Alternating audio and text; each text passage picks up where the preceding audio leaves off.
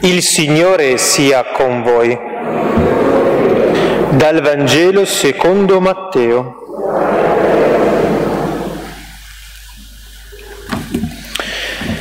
In quel tempo Gesù disse ai suoi discepoli, quando il figlio dell'uomo verrà nella sua gloria e tutti gli angeli con lui, siederà sul trono della sua gloria Davanti a lui verranno radunati tutti i popoli. Egli separerà gli uni dagli altri, come il pastore separa le pecore dalle capre, e porrà le pecore alla sua destra e le capre alla sua sinistra.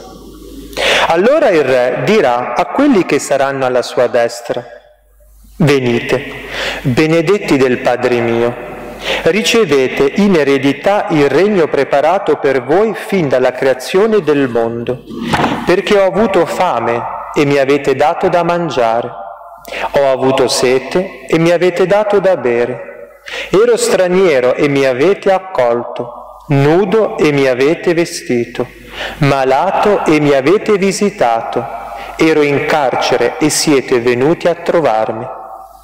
Allora i giusti gli risponderanno, Signore, quando ti abbiamo visto affamato e ti abbiamo dato da mangiare, o assetato e ti abbiamo dato da bere? Quando mai ti abbiamo visto straniero e ti abbiamo accolto, o nudo e ti abbiamo vestito? Quando mai ti abbiamo visto malato in carcere e siamo venuti a visitarti? E il re risponderà loro, in verità io vi dico, tutto quello che avete fatto. A uno solo di questi miei fratelli più piccoli, l'avete fatto a me. Poi dirà anche a quelli che saranno alla sinistra, via, lontano da me, maledetti, nel fuoco eterno, preparato per il diavolo e per i suoi angeli, perché ho avuto fame e non avete dato da mangiare, ho avuto sete e non mi avete dato da bere Ero straniero e non mi avete accolto, nudo e non mi avete vestito, malato e in carcere e non mi avete visitato. Anch'essi allora risponderanno, Signore, quando ti abbiamo visto affamato o assetato straniero o nudo, malato o in carcere e non ti abbiamo servito? Allora egli risponderà loro, in verità io vi dico, tutto quello che non avete fatto a uno solo di questi più piccoli, non l'avete fatto a me. E se ne andranno, questi al supplizio eterno, i giusti invece alla vita eterna. Parola del Signore.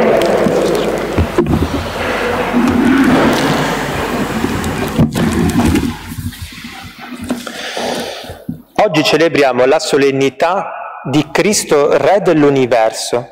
È l'ultima domenica dell'anno liturgico, quindi concludiamo l'anno liturgico, il capodanno ecclesiale. Da domenica prossima, prima domenica d'avvento, ricominciamo l'anno liturgico, dove ricominciamo a contemplare tutti i misteri della salvezza, di tutto quello che il Signore ha fatto per noi. Allora in questa festa dove il Vangelo ci propone il giudizio, il giudizio finale, dove il Signore tornerà nella sua gloria e siederà sul trono della sua gloria e giudicherà. Il fatto che ci sia un giudizio è la prima cosa importante per noi, perché non è questione di paura, è questione di realtà, di concretezza.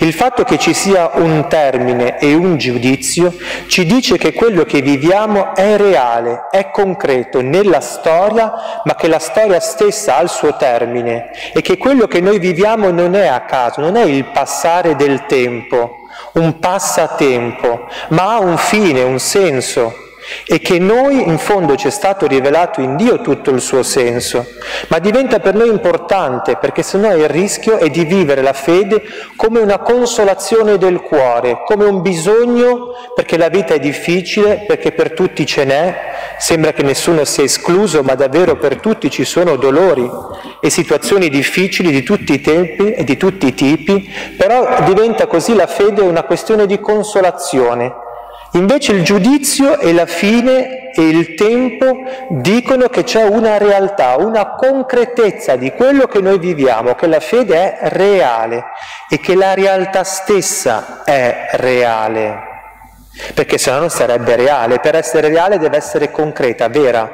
Deve avere un inizio e una fine, un perché e avere anche un significato che ha in sé e non è che glielo diamo noi il significato, noi lo riconosciamo e lo accogliamo il significato, perché se no è come il virtuale, io decido quale foto postare, quale realtà o quale immagine della realtà di me che voglio dare. Non funziona così, la realtà ha il suo sé. Allora, quello che è questo giudizio che diventa per noi anche entrare nel messaggio del Vangelo, che il Signore viene nella sua gloria e sul trono della sua gloria.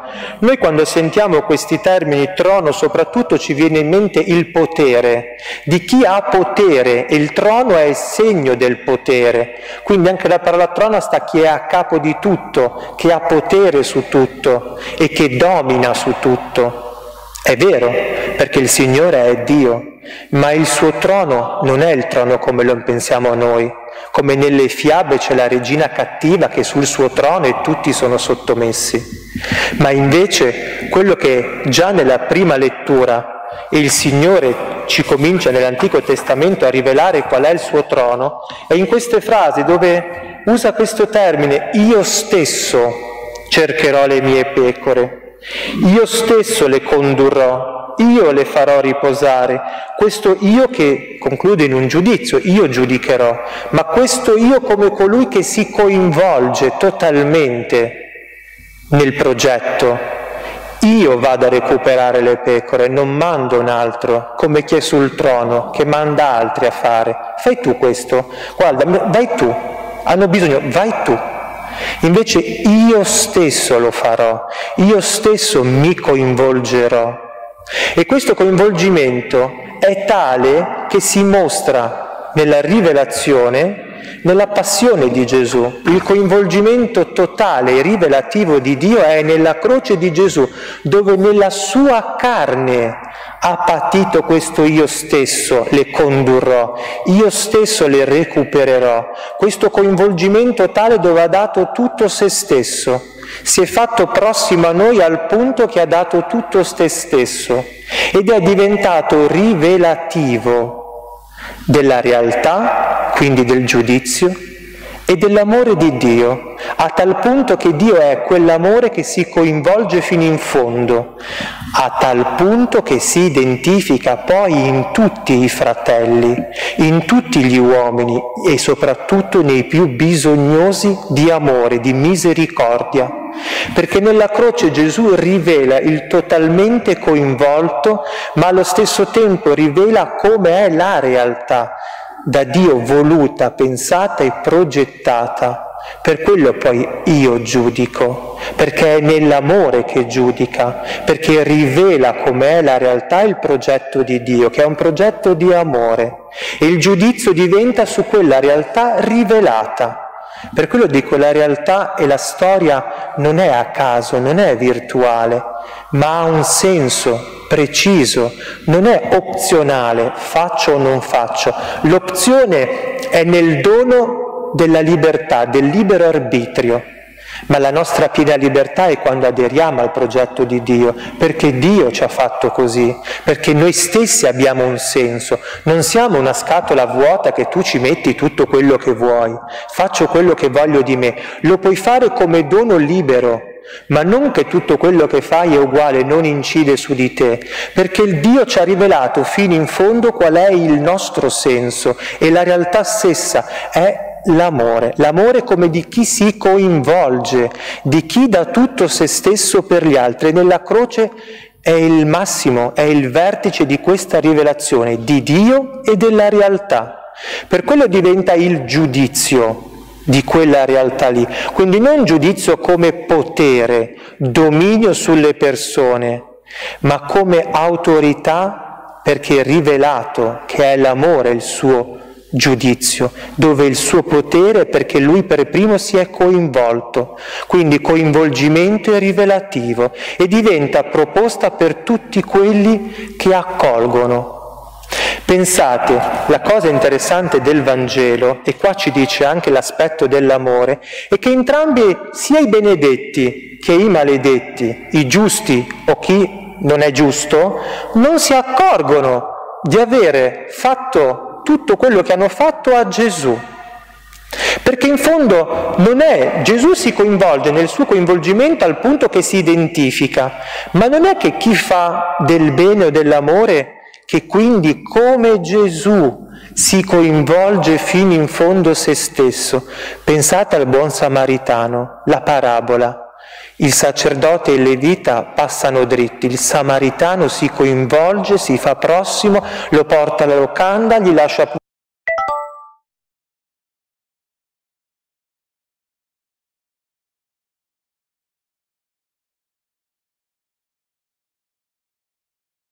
tale che appunto che chi accoglie, veste, fa tutto, lo fa non perché ha letto questo Vangelo, ma perché siccome si coinvolge fa carico su di sé del compatire l'altro. Pensate in questo tempo di pandemia, ogni giorno abbastanza il telegiornale racconta qualche storia di chi dà del suo tempo, il medico che va dalla signora anziana che non può uscire e nessuno ci va, quelli che portano da mangiare, le mense, chi ha chiuso il negozio ma piuttosto che buttare o rivendere dice no, le metto a disposizione per i medici. Tutto questo coinvolgimento che però è reale, concreto. Pensate che quando andrà di là non sarà come la parabola che il Signore dirà tu l'hai fatto a me e quelli diranno ma quando mai l'ho fatto? Probabilmente diranno anche ma io non andavo neanche in chiesa, figurati se sapevo che lo facevo a te. La carità come redentiva come la misericordia ti salva. Perché c'è una parabola che Gesù dice, col metro con cui giudicate sarete giudicate. Se volete misericordia, date misericordia. Quante parabole. E l'amore è prima di tutto questo anche, il coinvolgimento di noi stessi però, nel dare al prossimo dove come Gesù lo patisci nella tua carne. Perché noi possiamo anche dire, eh, poverino, e poi non fare niente. Ci sono quelli che invece vanno a casa turbati, non puoi stare a guardare, devo fare qualcosa. Non solo te lo porti a casa dentro, perché lo senti dentro, nello stomaco, che non puoi rimanere così indifferenti, ma ti spinge a cercare di fare qualcosa. Questo si intende quando lo fai nella tua carne, perché il tuo corpo non rimane indifferente, perché la tua persona si coinvolge dentro e fuori e concretamente e perché tante volte la giustizia fa patire, il voler bene fa patire, come la passione di Gesù. Il, il vertice è quello che anima e corpo patiscono in Gesù. Dentro e fuori patisce il rifiuto e la solitudine, l'incomprensione del suo amore e dei suoi discepoli che non c'è più nessuno, l'abbandono più totale e il corpo che soffre e patisce il dolore fisico perché sta amando. E così anche questo elenco di cose da fare non sono un elenco di cose da fare, ma è la manifestazione dell'amore, è l'integrità dell'amore, perché pensate, mi avete dato da mangiare e da bere perché ho avuto sete, non sono le cose primarie necessarie di chi è povero e non può avere neanche la sussistenza. Ma poi pensate, ero straniero e mi avete accolto, non è la comunione con tutti i fratelli? Non è la questione di risolvere un problema sociale, è la comunione con tutti i fratelli, accogliere lo straniero. E non è solamente l'immigrato, l'istraniero, è il diverso da noi. È il diverso di noi che però è nostro fratello, riconoscere l'altro come fratello. Quindi lo straniero in tutte le sue forme, in tutte, è accogliere la comunione dell'umanità, è crescere nella comunione. E poi, nudo mi avete vestito. Non è messo insieme a mangiare e bere, che potrebbe essere, come dire, un, di nuovo un bisogno primario, ma è più profondo Genesi, quando si scoprono nudi, che si coprono con le foglie di fico. Perché? Perché hanno perso quella dignità che il Signore gli aveva dato, che il peccato gli ha tolto. Allora vestire le persone è ridare dignità alle persone, come Cristo ha fatto con noi che ha patito per ridarci la nostra dignità di figli di Dio, che ci ha rivestito della veste bianca, la parabola della festa con la veste bianca. Nudo è colui che ha perso la dignità e che ha perso tutto. E rivestirlo è ridare la dignità, quindi tutte quelle forme di aiuto alle persone che ridanno la dignità, che ridanno questo essere persona. Malato mi avete visitato, ma l'apoteosi è nel carcere. In carcere siete venuti a trovarmi. Chi va in carcere non ci va perché ha sbagliato porta ed è entrato in un luogo che non capeva, è perché ha fatto del male, ma l'apoteosi dell'amore, il vertice dell'amore è il perdono. Il perdono come l'amore che vince il male, come Cristo ha vinto e domina sul creato perché ha vinto il male con l'amore. Così la croce di di Cristo regna, perché ha vinto, ha vinto realmente, ma ha vinto con l'amore. E così andare a visitare chi è in carcere è con la misericordia che dà vittoria sul male personale di chi si sente voluto bene. Vi ricordate la parabola di domenica scorsa, quel talento? Cosa abbiamo detto? Che prima di tutto è sentirsi voluti bene in cui investi il talento. Chi è in carcere in fondo ha nascosto questo talento, ma solo il sentirsi sentirsi voluto bene gli dà quella forza e quella grazia di nuovo di rimettersi in cammino e di reinvestire il talento. È il vertice dell'amore. Allora capite che tutte queste cose sono l'amore che cresce, è la manifestazione dell'unico amore in cui mette al centro sempre la persona totale, non è un elenco di cose da fare. Vado al banco degli abbigliamenti o dato da vestire. Certo, anche questo, ma prima di tutto parte da una, da una concezione più profonda nostra, perché se no le altre cose più quotidiane e più non palesi da caritas, se possiamo dire così, non le facciamo. E diventa solo mettersi a posto la coscienza. Decido che per l'avvento, per Natale, faccio un fioretto, prendo gli abiti che non ho, li porto lì, vado a fare un po' di spesa al supermercato e lo metto al cesto. È più profondo, è patire nella propria carne, decidere di coinvolgersi nel proprio tempo storico, come le persone che in questo tempo fanno, si coinvolgono in questo tempo storico con le sue problematiche, come Cristo si è coinvolta in tutta la storia dell'umanità. In tutta la storia si è coinvolto e ha patito nella propria carne. Del resto anche quelli, i maledetti, che non si rendono conto, ma come non ti abbiamo fatto questo? Non si sono resi conto perché non si sono coinvolti, non hanno sentito, non hanno visto, non hanno fatto. Si sono chiusi in se stessi e hanno fatto passare il tempo e hanno cercato dei passatempo perché non hanno trovato il senso della storia rivelata nella croce di Cristo, non hanno ritrovato il loro significato come persone e come tutto quello che è la nostra umanità. E allora hanno cercato di passatempo.